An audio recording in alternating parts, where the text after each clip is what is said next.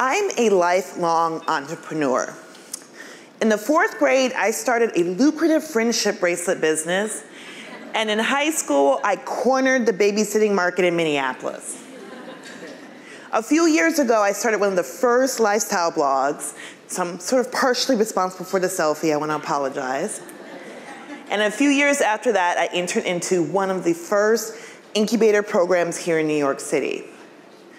And it was while part of this program that for the first time in my life as a entrepreneur, as a black woman, I felt invisible. Here I am, this optimistic Midwesterner, Ivy League educated business owner, but I was told by the head of that incubator program that he never met a black woman who ever received venture funding, and the likelihood of me ever receiving funding was zero, and so I should leave the program. And like many women in tech, I did just that. Often, as women, we're told to make ourselves small. That the fear of failure is somehow better than the joy of success, and that our power somehow threatens others. And so we should stay in our lane, stay put, be small. And I'm here to tell you that you do the world a disservice by being small. So be big and go big. Fortunately for me, I had this blog that I later grew and was able to sell. But ever since that moment in that incubator, I've thought about who has the right to think big? Who has that ability? My name is Kathryn Finney. I'm the founder of Digital Undivided. We're a social enterprise that fosters economic growth by supporting, investing, training, promoting women of color tech entrepreneurs. We're fundamentally changing the face of tech by going big and we've helped over 2,000 people. We've helped our fellows raise over $15 million in venture funding, proving that yes, black women can raise funding. And in 2015, we started a project called Project Diane. Uh, it was a study, the first study on black women in tech entrepreneurship.